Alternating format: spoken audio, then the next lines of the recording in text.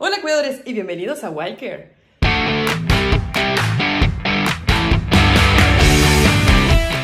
Pueden ver que lo de atrás está hecho un desastre, perdónenme, pero hace muchísimo que no hacemos este tipo de videos, así que vamos a hacer el vlog porque Tamatoa me rompió su encierro, así que vamos a ver qué es lo que voy a hacer, porque la voy a tener que volver a armar. En lo que me paso a la nueva casa y armamos ya el encierro definitivo. Ok, por acá tenemos el encierro de Tama, que pues sí, ya está tantito viejito.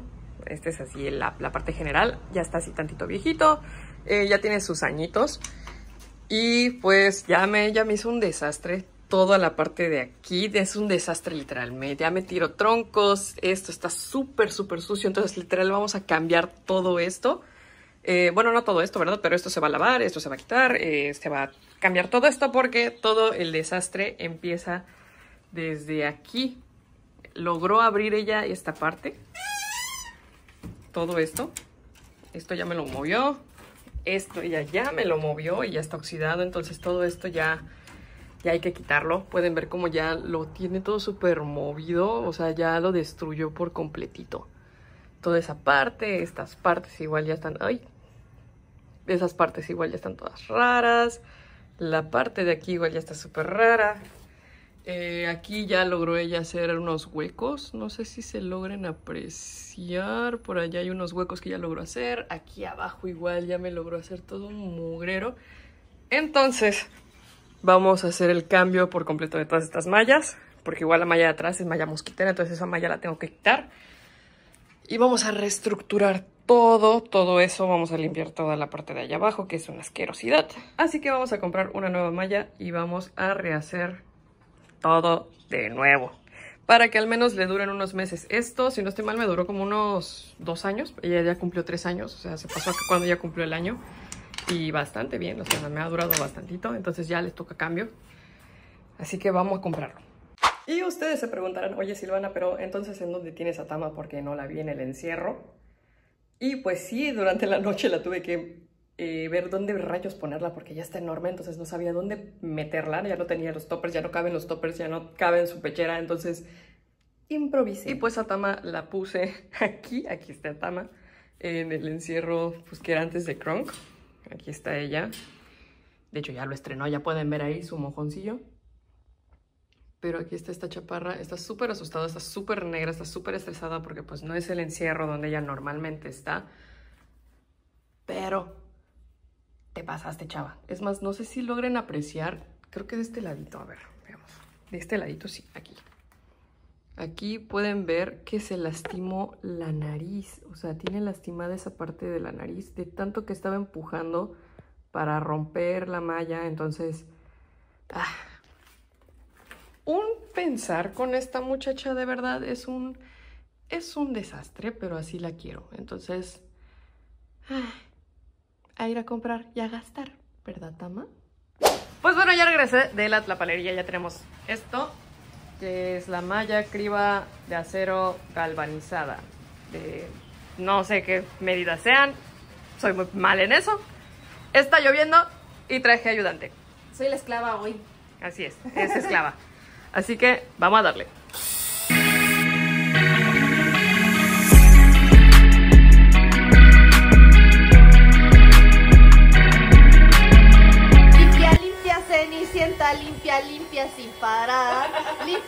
Absorbe el cochambre y no lo dejes sin dudar. Limpia, limpia, tú puedes. Dale, Cenicienta. Eso es todo, Cenicienta. Dale, gata, trabaja. Ah, qué feo. Ella así con esas confiancitas.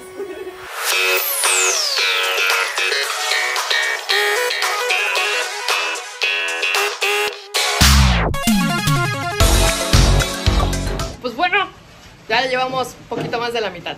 Oh, sí. Ya es más fácil. ¿Qué opinas, Gilda? ¿Cómo está quedando? Hermoso. Más chévere que la primera vez, porque tenemos la máquina inalámbrica, el rotomartillo. Ah, sí. Estas mujeres están chambeando. Oh, sí. Les facilita la vida. Siempre tengan un rotomartillo en sus casas. De verdad. y puedo sentir la testosterona, puedo sentirme un hombre. Al día siguiente. Bueno, ahora ya está listo todo el encierro de Tama. Ahora toca sacar a esta preciosa Que pueden ver que ya está en posición de defensa y bien estresada. De hecho, esto me lo hizo ella hace pues, como, bueno, el día pasado, hace un día, en que la pasé aquí. Así que ya le toca corte de uñas, pero primero hay que ver si... Tranquila. Muy bien, eso es. Oh, sí, pueden ver cómo cerró el ojito. Así es. Esta guapa solo se deja manipular por mí. Así que vámonos, Tama. A ver, voy a necesitar, voy a grabar esto de lejos porque necesito las dos manos para poder sacarla.